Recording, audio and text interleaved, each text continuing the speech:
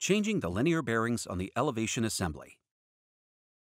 Use the touchscreen to position the elevation assembly to a middle position in order to allow the removal of the bearings from the linear rails. Once in position, push in an e-stop. Open the side access door to the stroke elevation chamber.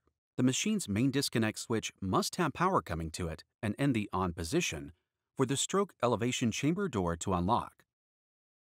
Now, do a proper lockout-tagout procedure on the machine's disconnect switch on the main electrical panel.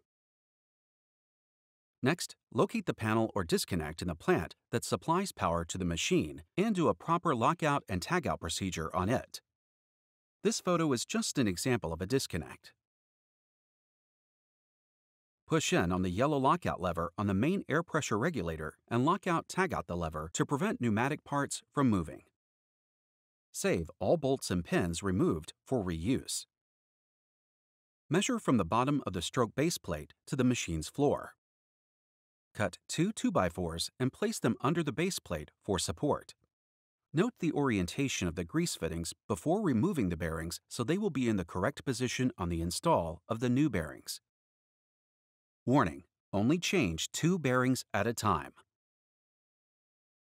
Remove the bolts from the bottom bearing on the right side of the base plate and slide the bearing off the bottom of the linear rail. Remove the bolts from the top bearing on the right side of the base plate and pull the bearing up and slide it off the top of the linear rail. On the new bearings, keep the plastic cover on the new bearings to protect the ball bearings. It will slide off as you slide the new bearings on. Make sure the grease fitting orientations are correct and slide the new bearings onto the linear rail and replace the bolts removed earlier. Now use the same procedure to replace the two bearings on the left side of the base plate. Once all the new bearings are in place and secure, grease them as they must be greased before putting the machine back into use. In the future, grease them regularly as part of your preventive maintenance program. When done, remove the 2x4 supports.